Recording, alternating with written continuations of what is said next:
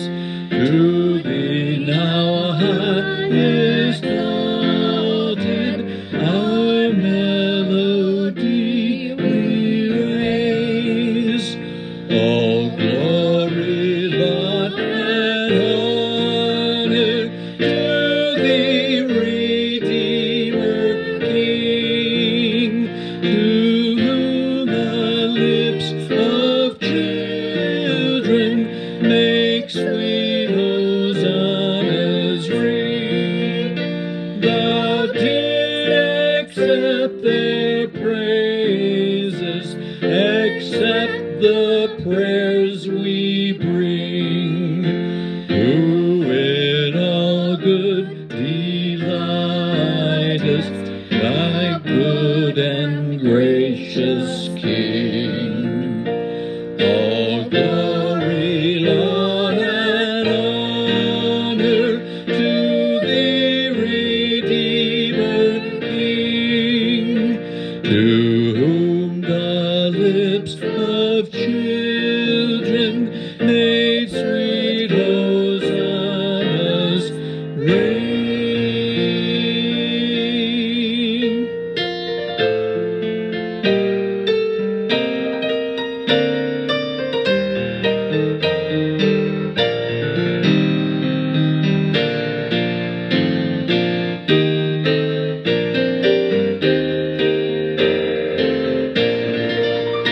Thank you.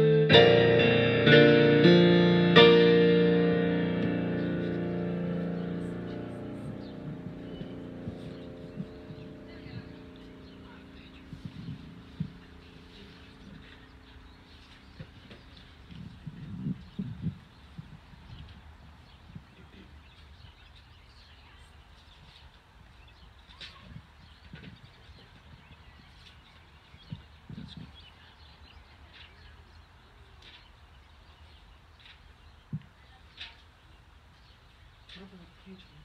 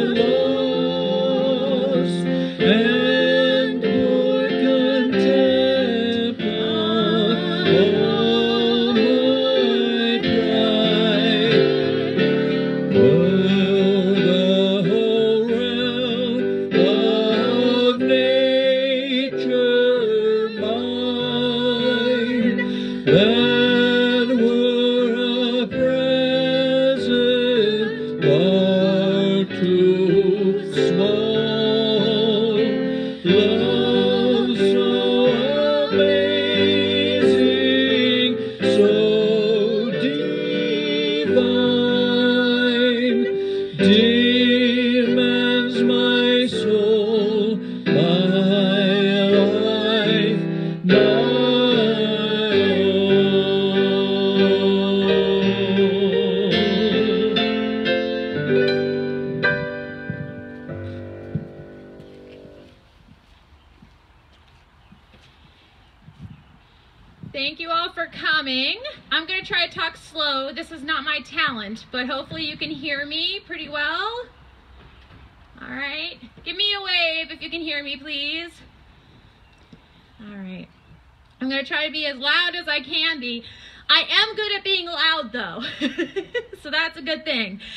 So we've got a responsorial worship today. On your seat sheet, you'll find places to turn on your headlights, turn on your wipers, turn on your blinkers. And then there's a reading that you're going to read to your car or to yourself when I hold up the fingers, right? The appropriate fingers. And just so you know, in the Mark reading, in the middle, we are going to sing the doxology together. You can just hum it a little bit in the car if you feel self conscious about it, right? You don't have to um, make a big thing about it. But that's my hope, right? Is that we can do all that. So, see one more person coming. Just a moment. So we're to try to, you know, work on all these kinds of pieces and get it done. All right. So here's the first reading. It's Psalm 116. Let us hear the word of the Lord and be ready to respond. What shall I return to the Lord for all his bounty to me? I will lift up the cup of salvation and call on the name of the Lord. Turns on their headlights. And now you can turn on your headlights if you're in your car. They have to turn on their cars. yeah, you it. have to turn on your cars. It's a hard thing. I will pay my vows to the Lord in the presence of all his people. Precious in the sight of the Lord is the death of his faithful ones. You could wave your psalm, your your uh, palm at this one too, right? It was easier last week when everyone's cars were on for the rain. This is hilarious. Oh Lord, I am your servant. I am your servant, the child of your serving girl. You have loosed my bonds. I will offer to you a thanksgiving sacrifice and call on the name of the Lord.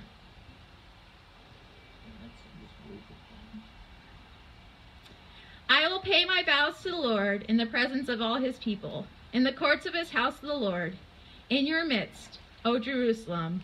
Pray, praise the Lord.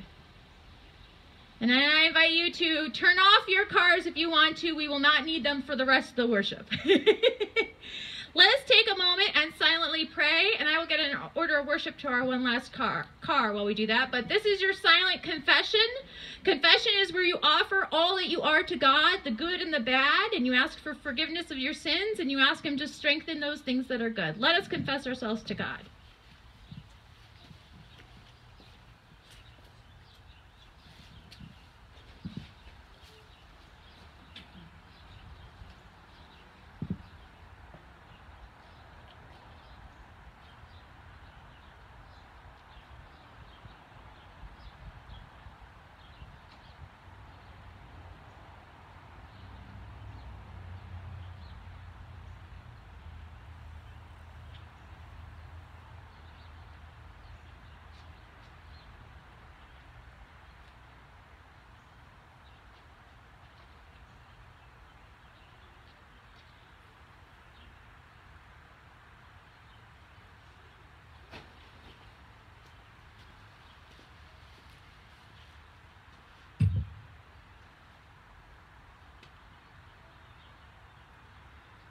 Amen.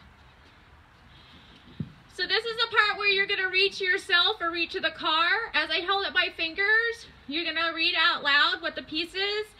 And after the part where they say, then Jesus and his followers sang the hymn, we are going to sing the doxology. All right, here we go. While they were eating, he took a loaf of bread, and after blessing it, he broke it and gave it to them and said, Take, this is my body. Hmm. Then he took a cup, and after giving thanks, he gave it to them, and all of them drank from it. He said to them, This is my blood of the covenant, which is poured out for many. Truly I tell you, I will never drink the fruit of the vine until that day when I drink it new in the kingdom of God. When they had sung the hymn, they went out to the Mount of Olives.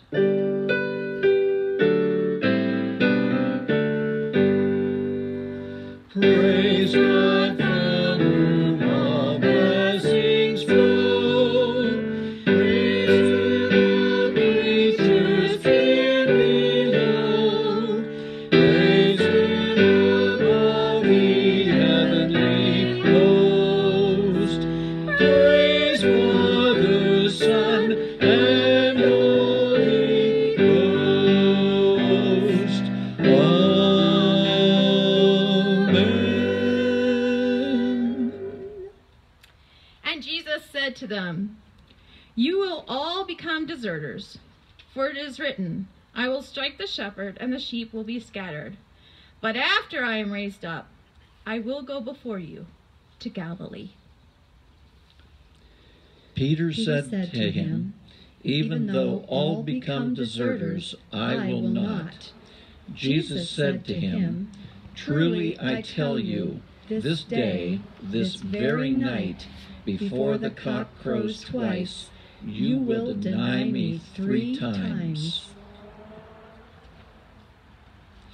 But he said vehemently, Even though I must die with you, I will not deny you. And all of them said the same. They went to a place called Gethsemane, and he said to his disciples, Sit here while I pray. He took with him Peter and James and John, and began to be distressed and agitated. And he said to them, I am deeply grieved, even to death. Remain here and keep awake.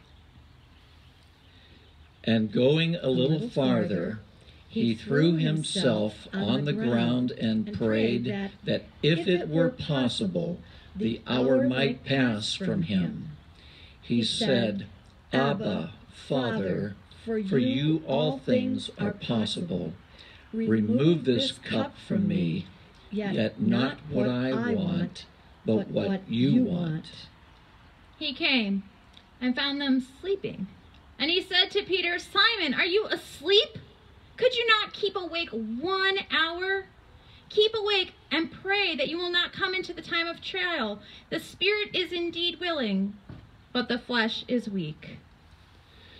And again he went away and prayed, saying the same words. And once more he came and found them sleeping, for their eyes were very heavy, and they did not know what to say to him. He came a third. Oh. he came a third time and said to them, Are you still sleeping and taking your rest? Enough. The hour has come. The Son of Man is betrayed into the hands of sinners. Get up, let us be going. See, my betrayer is at hand.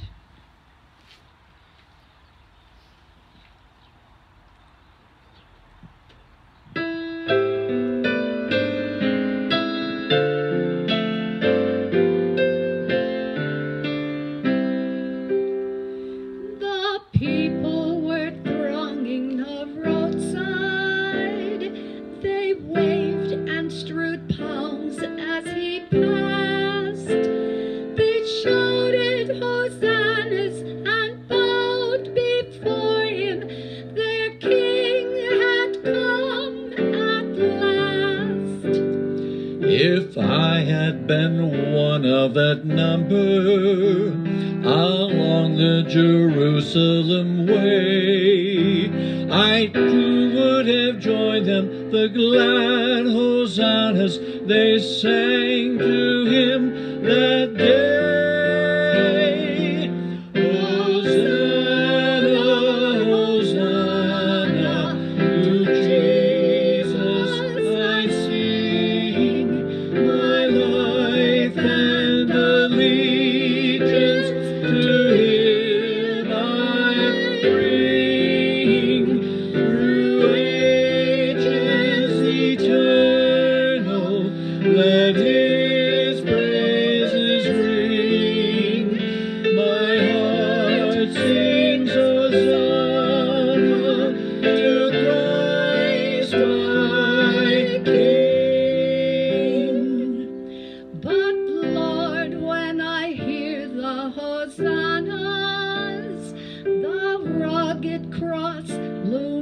To view, and I remember thy matchless love and my faith and trust renew.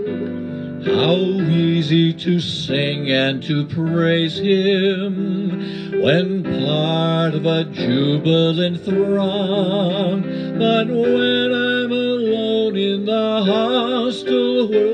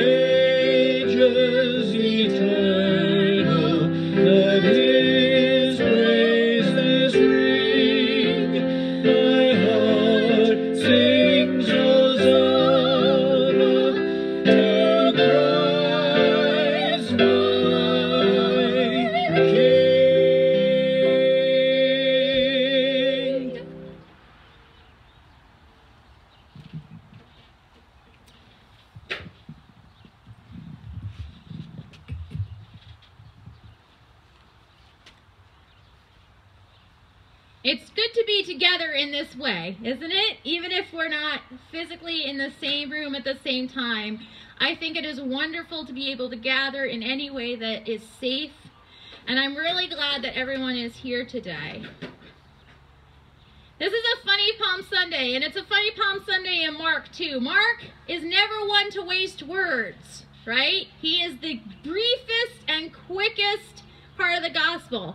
In fact, if you're learning about the Bible, many people recommend Mark because it's a very brief scripture. So in Mark, there is no Palm Sunday. There is no Hosanna moment. They the it's interesting. Mark thinks that the Last Supper and the prayer at Gethsemane are more important than Palm Sunday. And the reason why this is, I think, is because that Palm Sunday was a premature victory party.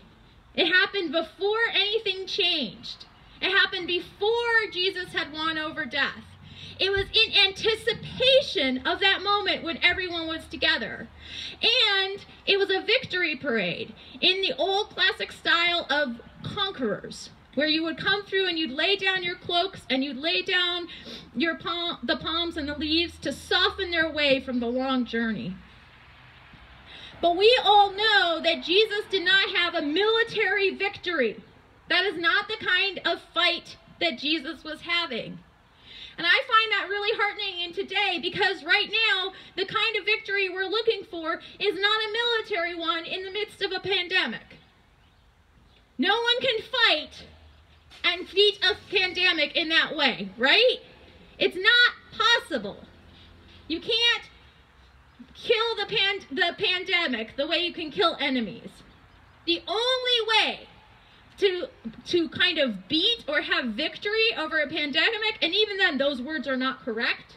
The only way to win against a pandemic is for that moment of ultimate healing when we can all be reconciled and come together in person once again. Now, does that sound like Easter or what?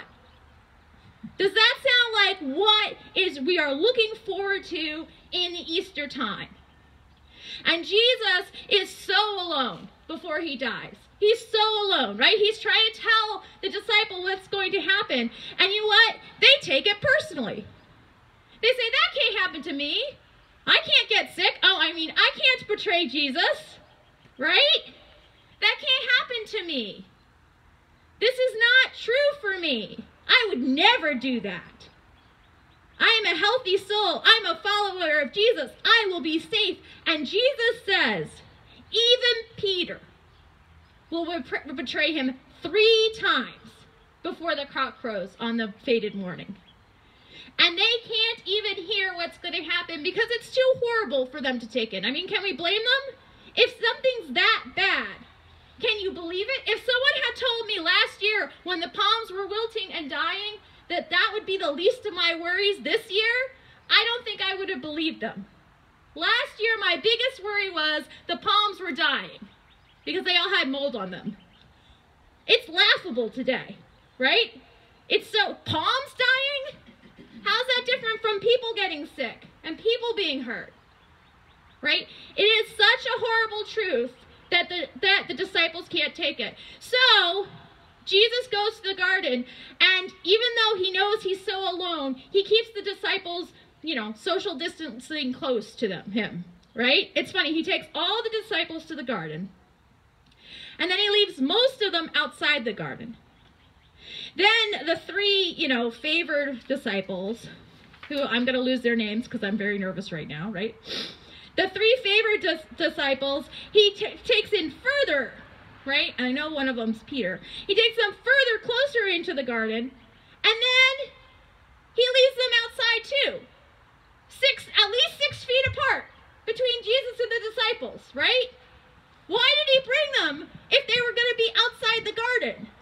I think because there's comfort here. Why are we here when we all have to sit in our cars? Because there's comfort in praying together even when we're apart, right? And we know people are going to be praying on the video too, right? Even though we're far apart, we're going to be together. And Jesus values that togetherness. Even as all the disciples cannot understand what's going to happen or what the suffer's going to be like. Even as we who are not sick cannot understand what's going to happen, who's going to get sick, and what the suffering's going to be like, we can pray together for one another. That's exactly what happens in the garden. Jesus takes the disciples and he says, Pray. And the disciples find it very hard, right? They fall asleep not once, not twice, but three times. And when I think about our failures to try to put into practice the social distancing, right? Trying to be safe and yet trying to keep people apart and how hard it is, I think we can understand how difficult it is, right? We can understand that it is not easy to be far apart from one another. And that, I don't know about you, but my sleep is disturbed when I am not seeing people regularly. Either I'm sleeping too much or I'm sleeping too little, right? It's hard to get up in the morning or it's hard to go to bed at night. And I think the disciples feel that too, right? Their sleep, their very sleep is disturbed. Their natural body rhythms are not working correctly because something big is happening and it's a crisis. And so here we are in the middle of Palm Sunday. And what better time to cry out Hosanna, which we say like a victory, but Hosanna means, Lord, save us. Come, save us. When we're saying Hosanna, we're asking God to come and sit by us and walk through us in our hard journey. We are remembering that there is no, no that we have seen, you know, one part of the victory party, but the next party is going to be even better. There's going to be reconciling, there's going to be healing, and there's going to be hope. And I know that we're going to enter, we are still going to be in this time of Holy Saturday. You know what happens on Holy Saturday? Nothing in waiting. And we are going to be stuck in the nothing and waiting part. But when we gather again in person, the reconciliation and the healing is going to be so joyful, joyful we are going to get what Easter means. We are going to feel Easter. It is going to be the best Easter ever.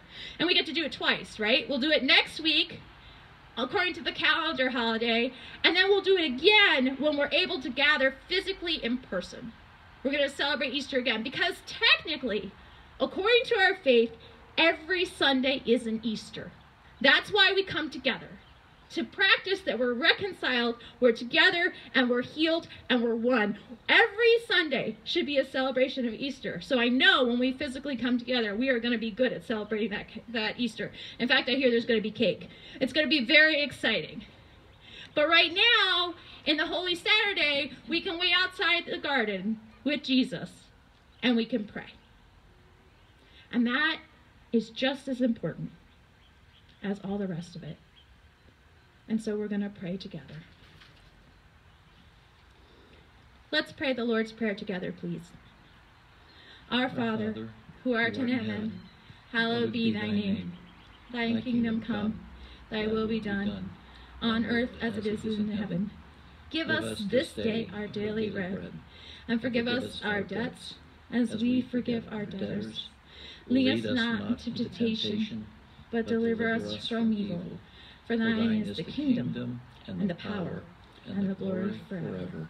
Amen. Amen.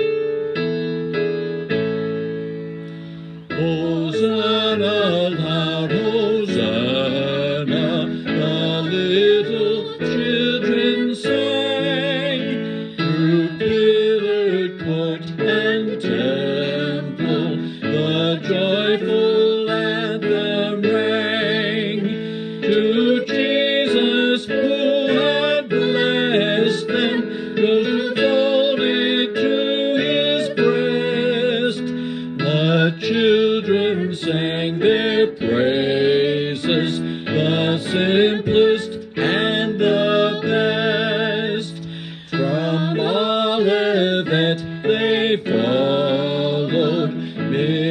his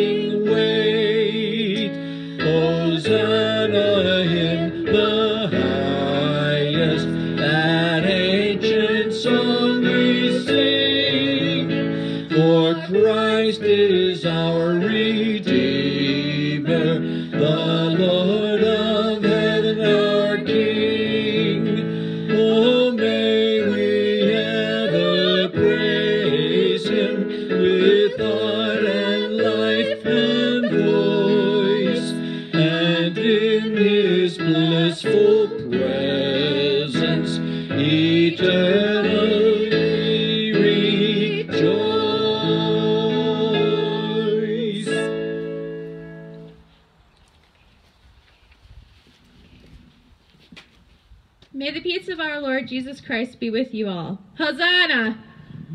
Hosanna. Hosanna. I got a lot of good shaking out there. Peace with you. Thank you.